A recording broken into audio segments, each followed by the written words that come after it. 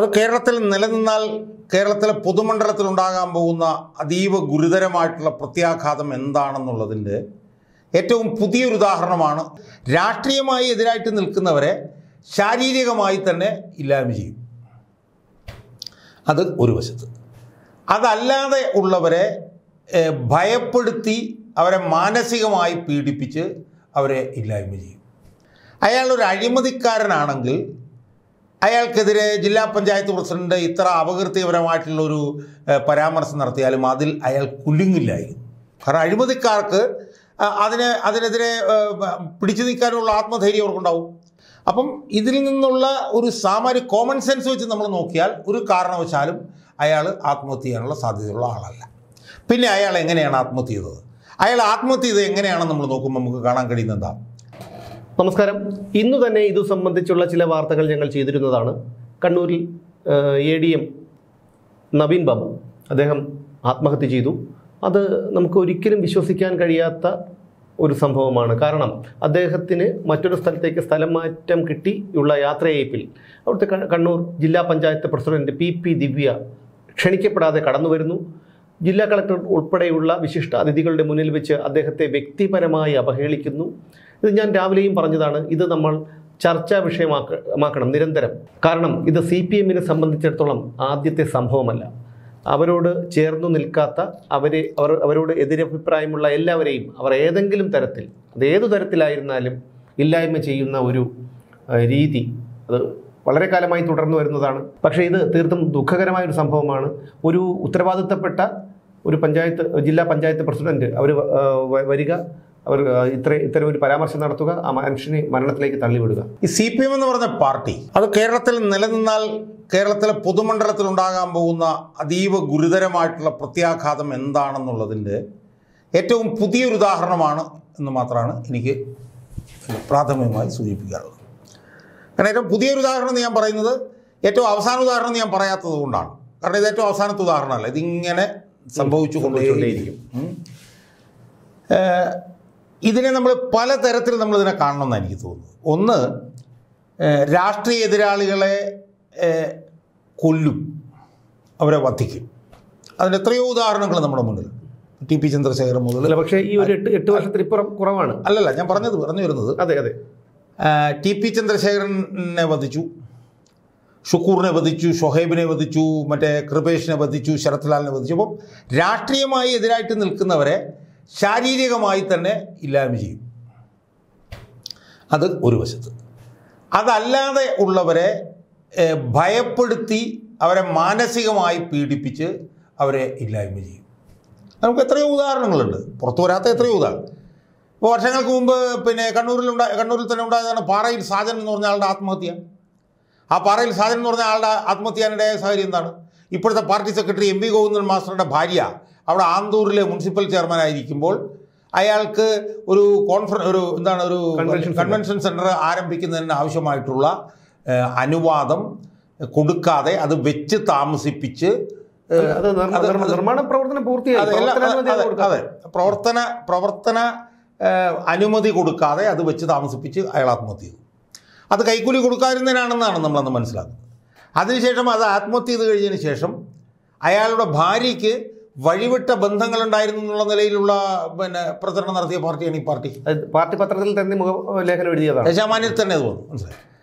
അപ്പം അതുപോലെ ഒട്ടനവധി സംഭവങ്ങൾ നമുക്ക് ഇതുമായി ബന്ധപ്പെട്ട് കാണാൻ കഴിഞ്ഞിട്ടുണ്ട്. എന്ന് മാത്രമല്ല കാണാത്ത പുറത്തു വരാത്ത നൂറുകണക്കിന് ഉദാഹരണങ്ങൾ ഉണ്ട്. ഭയവിഹോലരായി കഴിയുന്ന എത്രയോ ആളുകൾ ഇതുമായി ബന്ധപ്പെട്ട് ഉണ്ട്. ഈ വിഷയത്തിലേക്ക് വന്നാൽ നമ്മളൊന്ന് ആലോചിച്ച് നോക്കി. അപ്പോൾ ഇയാൾ കൈക്കൂലിക്കാരനായിരുന്നു എന്ന് സ്ഥാപിക്കാൻ വേണ്ടിയിട്ടുള്ള ഒരു ശ്രമം. അയാൾ കൈക്കൂലിക്കാരനല്ലായിരുന്നു എന്നുള്ളത് സംബന്ധിച്ചിട്ടുള്ള തെളിവുകൾ ഇപ്പോൾ വന്നിട്ടുണ്ട്. കാരണം രണ്ട് കാരണങ്ങളുണ്ട് ഒന്ന് ഇപ്പോൾ റവന്യൂ മന്ത്രി തന്നെ അയാൾ സത്യസന്ധനായ ഉദ്യോഗസ്ഥനായിരുന്നു എന്ന് പറഞ്ഞിട്ടുണ്ട്. രണ്ടാമത്തെ ഒരു പ്രധാനപ്പെട്ട കാര്യം അയാൾ കുറ്റക്കാരനല്ല എന്ന് ഞാൻ വിചാരിക്കുന്നതിന്റെ കാരണം എന്താണെന്ന് വെച്ചാൽ അയാൾ ഒരു അഴിമതിക്കാരനാണെങ്കിൽ അയാൾക്കെതിരെ ജില്ലാ പഞ്ചായത്ത് പ്രസിഡന്റ് ഇത്ര അപകീർത്തിപരമായിട്ടുള്ളൊരു ഒരു പരാമർശം നടത്തിയാലും അതിൽ അയാൾ കുലുങ്ങില്ലായിരുന്നു കാരണം അഴിമതിക്കാർക്ക് അതിനെ അതിന് അതിനെതിരെ പിടിച്ചു നിൽക്കാനുള്ള ആത്മധൈര്യം അവർക്കുണ്ടാവും. അങ്ങനെ ഉണ്ടെങ്കിലേ അവർ അഴിമതി ചെയ്യാനും കൈക്കൂലി മേടിക്കാനും പോവുള്ളൂ മനസ്സിലായോ? അപ്പോൾ ഇത് ഈ ഉദ്യോഗസ്ഥനെ ഈ ആത്മഹത്യ ചെയ്ത എ ഡി എമ്മിനെ സംബന്ധിച്ചിടത്തോളം അയാൾ കേൾക്കാൻ പാടില്ലാത്തത് എന്തോ കേൾക്കുകയും അതിൽ അയാളുടെ അയാൾ അയാൾക്കുണ്ടായിട്ടുള്ള മനോവ്യഥയിൽ നിന്നും അയാൾ ആത്മഹത്യ ചെയ്തു എന്ന് പറയുമ്പോൾ അയാൾ പിന്നെ സ്വതവേ ഒരു ദുർബല ഹൃദയനായിരുന്നു എന്ന് വേണം നമ്മൾ മനസ്സിലാക്കാൻ. ദുർബല ഹൃദയനായിരുന്ന ഒരാൾക്കും ഈ പറഞ്ഞതുപോലെ പിന്നെ ഇപ്പോൾ പരാതിക്കാരൻ പറയുന്നത് എന്താണ്? തന്നെ പലതവണ വീട്ടിലേക്ക് വിളിച്ചു. തനിക്ക് ഇനി ജന്മത്തിൽ പിന്നെ പിന്നെ അനുവാദം നൽകില്ല എന്നൊക്കെ പറഞ്ഞ് വിളിച്ചു എന്നൊക്കെയാണ്. അത് അതൊക്കെ തന്നെ നമ്മളൊരു ഒരു ഒരു സാമാന്യ യുക്തി വെച്ച് ചിന്തിക്കുമ്പോൾ അതൊന്നും നമുക്ക് യോജിക്കാൻ പറ്റാത്ത കാര്യമാണ്. എന്ന് മാത്രമല്ല അയാളുടെ അയാളുടെ അയാളുടെ പിതാവിന്റെ പിന്നെ ഇത് ഞാൻ കേട്ടു. പിതാവും പറയുന്നുണ്ട് അയാളെ ഇങ്ങനെ ഇത്ര ഇത്തരക്കാരനെ അല്ല എന്ന് പറയുന്നുണ്ട്. അയാളൊരു സി പി എം കുടുംബമായിരുന്നു. അയാളുടെ പിതാവ് എനിക്ക് തോന്നുന്നു എന്തോ ഓമല്ലൂർ ലോക്കൽ കമ്മിറ്റി സെക്രട്ടറിയോ മറ്റോ ഒക്കെ ആയിരുന്നു. അയാളുടെ ഭാര്യ സി പി എമ്മിന്റെ പഞ്ചായത്ത് പ്രസിഡന്റായിട്ടാണോ മത്സരം അപ്പോൾ പാർട്ടി അല്ല കെ- കെ കെ രമയുടെ അമ്മയും അവരുടെ അച്ഛനും ഒക്കെ പാർട്ടിക്കാരായിരുന്നല്ലോ. ആ അതെ. അല്ല ഞാൻ പറഞ്ഞു വന്നത് പറഞ്ഞു വന്നത് ഇയാളെ ഒരു ഇയാൾ ഉദ്യോഗസ്ഥനായിരുന്നെങ്കിൽ ഇയാൾ അടിയുറച്ച പാർട്ടി കുടുംബമായിരുന്നു. മനസ്സിലായോ? അപ്പം അയാൾ ഇങ്ങനെ ചെയ്യുമെന്ന് പിന്നെ ആരും വിശ്വസിക്കുന്നില്ല? അതൊന്നാമത്തെ കാര്യം. അപ്പം ഇതിൽ നിന്നുള്ള ഒരു സാമാന്യ കോമൺ സെൻസ് വെച്ച് നമ്മൾ നോക്കിയാൽ ഒരു കാരണവശാലും അയാൾ ആത്മഹത്യ ചെയ്യാനുള്ള സാധ്യതയുള്ള ആളല്ല. പിന്നെ അയാൾ എങ്ങനെയാണ് ആത്മഹത്യ ചെയ്തത്? അയാൾ ആത്മഹത്യ ചെയ്തത് എങ്ങനെയാണെന്ന് നമ്മൾ നോക്കുമ്പോൾ നമുക്ക് കാണാൻ കഴിയുന്നത് അയാളുടെ യാത്രയപ്പ് ചടങ്ങിലേക്ക് ക്ഷണം പോലും ഇല്ലാതെ ജില്ലാ പഞ്ചായത്ത് പ്രസിഡന്റ് അവിടെ ചെല്ലുന്നു. അതെ അതെ. അവിടെ ഇരുത്തിക്കൊണ്ട് അയാളെ പരസ്യമായി അയാളെ അപഹസിക്കുന്നു അയാളെ അപകീർത്തിപ്പെടുത്തുന്നു അയാളൊരു അഴിമതിക്കാരനാണ്. ഇതിന് മുഴുവൻ തെളിവുകളും എന്റെ കയ്യിലുണ്ട് എന്ന് പറയുന്നു. ഇനി മേലാ ഇതുപോലെ ചെയ്യരുതെന്ന് പറയുന്നു. അവസാനം അയാൾക്ക് മൊമെന്റോ പോലും കൊടുക്കാൻ തയ്യാറാകാതെ അവരവിടെ. തയ്യാറാൻ തയ്യാറാകുന്നില്ല അത് കാണാൻ നിൽക്കാതെ. കാരണം അവരെ ക്ഷണിച്ചില്ലല്ലോ. അത് അത് കാണാൻ ഞാൻ ഇവിടെ നിൽക്കുന്നില്ല എന്ന് പറഞ്ഞാണ് അവർ ഇറങ്ങിപ്പോയത്.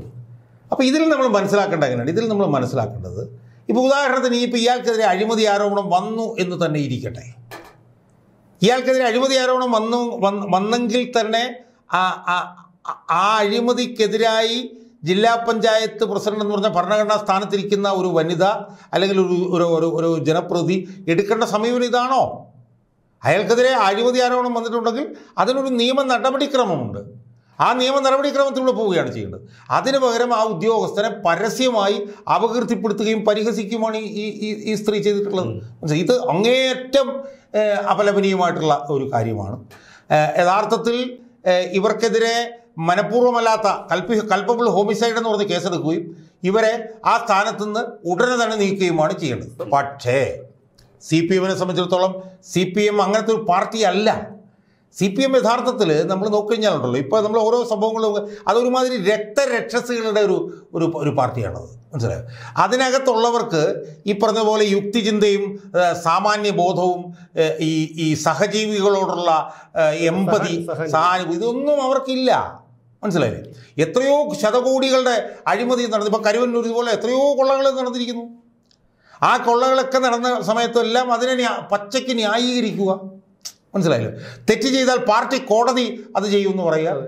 ഏറ്റവും ഹീനവും നീചവും നികൃഷ്ടവുമായിട്ടുള്ള കൊലപാതകങ്ങൾ നടത്തുക. ഇപ്പോൾ ടി പി ചന്ദ്രശേഖരന്റെ കൊലപാതകം നടത്തിയത് എങ്ങനെയാണ് അമ്പത്തൊന്ന് വിട്ടു അരിയിൽ ഷുക്കൂറിനെ കൊന്നത് എങ്ങനെയാണ് പത്തിരുന്നൂറ് പേര് നോക്കി നിൽക്കുകയാണ് ഇരുപത് വയസ്സുള്ള ചെറുക്കനെ. ചെറുക്കനെ പിന്നെ പിന്നെ തലയറത്ത് കൊന്നിട്ടുള്ളത്. മനസ്സിലായില്ലേ? സ്ത്രീ പീഡന കേസിൽ വരുമ്പോഴത്തേക്കും പാർട്ടി പിന്നെ കോടതി ചേർന്ന് രക്ഷപ്പെടുത്തുക. കൈക്കൂലി കേസിൽ നിന്ന് ആളുകളെ രക്ഷപ്പെടുത്തുക. അപ്പം എല്ലാ വൃത്തികേടുകളുടെയും അങ്ങേ അറ്റത്തെ മൂർത്തിമത് ഭാവമായി സി പി എം എന്ന് പറയുന്ന ഈ സംവിധാനം മാറി മാറിക്കഴിഞ്ഞിരിക്കുന്നു. അതിന്റെ ഒരു പ്രതിഫലനമാണ്.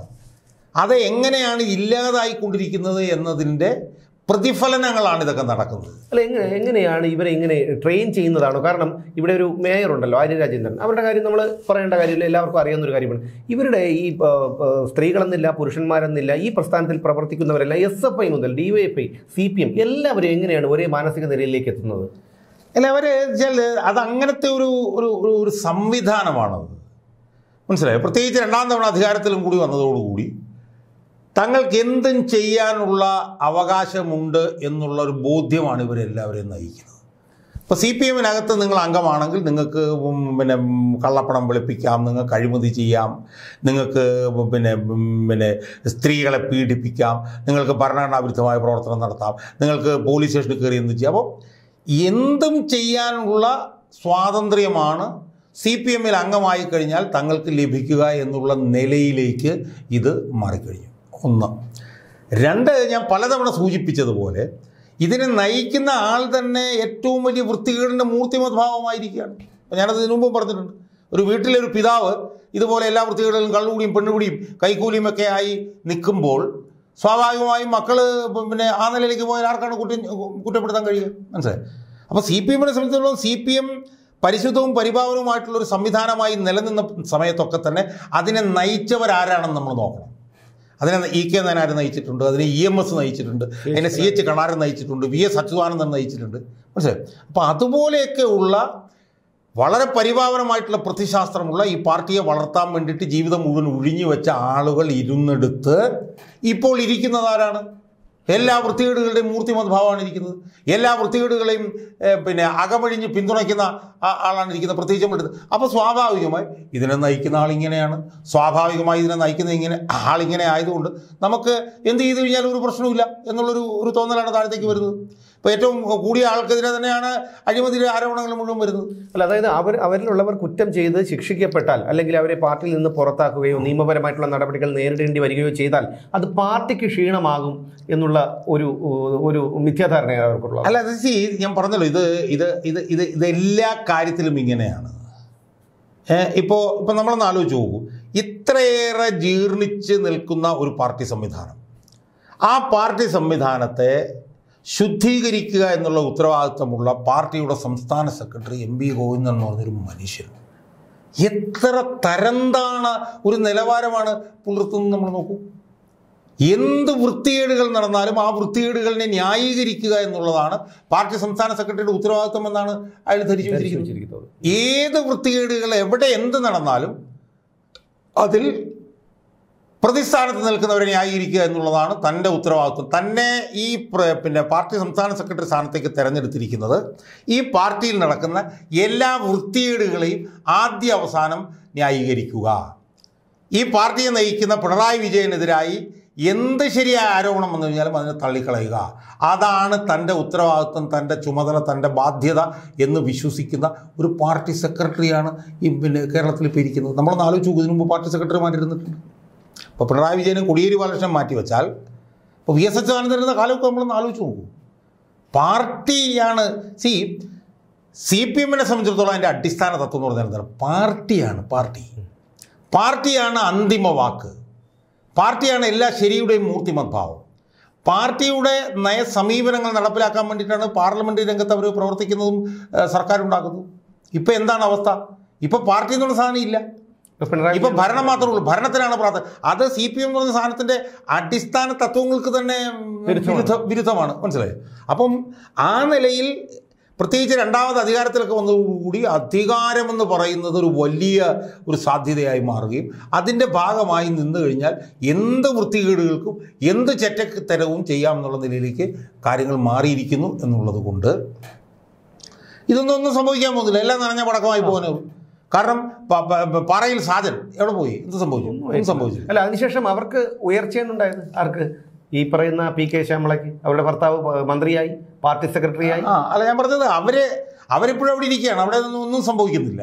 മനസ്സിലായില്ലേ? അപ്പം ഇതിനകത്ത് ഇപ്പം ഇത് വളരെ സ്ട്രെയിറ്റ് ഫോർവേഡായി നോക്കിയാൽ തന്നെ അവരുടെ പരസ്യമായിട്ടുള്ള അതിക്ഷേപവും പിന്നെ അപകീർത്തിപ്പെടുത്തലും പരിഹാസവും കൊണ്ടാണ് ഈ ഉദ്യോഗസ്ഥൻ ആത്മഹത്യ എന്നുള്ളതിനകത്ത് ഇനിയൊരു തർക്കത്തിന് പോലും സ്കോപ്പില്ല മനസ്സിലായി? സ്വാഭാവികമായി അവരെ ചെയ്യേണ്ടത് എന്താ? അവർക്കെതിരെ കൽപ്പബിൾ ഹോമിസൈഡിന് കേസെടുക്കുകയും അവരെ സ്ഥാനത്ത് മാറ്റുകയാണ് ചെയ്യേണ്ടത്. മനസ്സിലായി? പക്ഷേ പക്ഷേ എന്താണ് സംഭവിക്കാൻ പോകുന്നുള്ളത് പിന്നെ ഈ പറഞ്ഞ പോലെ ഫേറ്റ് അക്കമ്പിളിയല്ലേ നമുക്കറിയാവുന്ന കാര്യമല്ലേ. അതുകൊണ്ടൊന്നും സംഭവിക്കാൻ പോകുന്നില്ല അതുകൊണ്ട് ആത്യന്തികമായി ഈ സംവിധാനം ശുദ്ധീകരിക്കപ്പെടില്ല എന്ന് ഉറപ്പായ സാഹചര്യത്തിൽ പിന്നെ ഒരൊറ്റ വഴിയുള്ളൂ. ഇത് അങ്ങ് ഇല്ലാതാകുക എന്നുള്ളൊരു വഴി മാത്രമേ ഉള്ളൂ. ആ വഴിയൊന്നും അത്ര ദുർഘടമാണെന്നൊന്നും എനിക്ക് തോന്നുന്നില്ല. കാരണം ഇത് ഇതിനു മുമ്പ്. ഇതിനു മുമ്പ് ഇതിനു മുമ്പ് ഉണ്ടായിരുന്ന രണ്ട് സംസ്ഥാനങ്ങളുടെ രണ്ട് സംസ്ഥാനത്തും അത് അപ്രത്യക്ഷമായി കഴിഞ്ഞു. മനസ്സിലായില്ലേ? ഇത്തവണ അവിടെ ഏതാണ്ട് ഇരുപത്തൊമ്പത് സ്ഥലത്ത് മത്സരിച്ചതിൽ ഒന്നോ രണ്ടോ സ്ഥലത്താണ് കെട്ടിവെച്ച കാശ് കിട്ടിയത്. അഞ്ച് പ്രാവശ്യം അമ്പത് ശതമാനത്തിൽ കൂടുതൽ വോട്ടുണ്ടായിരുന്നിടത്ത് ഇപ്പം ഇരുപത്തൊമ്പത് സംസ്ഥാന സ്ഥലത്ത് ലോക്സഭയിലേക്ക് മത്സരിച്ചെടുത്ത് രണ്ട് സ്ഥലത്താണ് കെട്ടിവെച്ച കാശ് കിട്ടിയത്. മനസ്സിലായില്ലേ? ആറ് ശതമാനം വോട്ടാണ് ഇപ്പോൾ അവിടെ ഉള്ളത്. അപ്പോൾ അത് എന്നേക്കുമായി അത് അസ്തമിച്ചു പോയി അവിടെ. ത്രിപുരയിലും അത് അസ്തമിച്ചു പോയി. മനസ്സിലായി? ഇവിടെയും അത് ഏറെ താമസിയാതെ ആ അങ്ങോട്ടെത്തും എന്നുള്ളതിന്റെ തെളിവാണ് ഓരോ ദിവസവും ഇതുമായി ബന്ധപ്പെട്ട് പുറത്തു വരുന്ന വാർത്തകളിൽ നിന്ന് നമുക്ക് മനസ്സിലാക്കാൻ കഴിയുന്നത് എന്ന് വേണം നമ്മൾ വിലയിരുത്താൻ. ഇന്നത്തെ ചാനൽ ചർച്ചകളിൽ വിഡ്ഢികളായ ന്യായീകരണ തൊഴിലാളികൾ വന്നിരുന്നു മെഴുകും. ഇതെല്ലാം കണ്ടു രസിക്കാനായി നമ്മളുടെ ജന്മം ഇനിയും ബാക്കി. എന്തായാലും ഈ ഒരു നശിച്ച പ്രസ്ഥാനം നാമാവശേഷമാകുന്നതോടുകൂടി മാത്രമേ ഇനി കേരളത്തിനൊരു ഉയർച്ചയുണ്ടാകൂ ഉയർത്തെഴുന്നേൽപ്പുണ്ടാകൂ എന്ന കാര്യത്തിൽ യാതൊരു തർക്കവുമില്ല.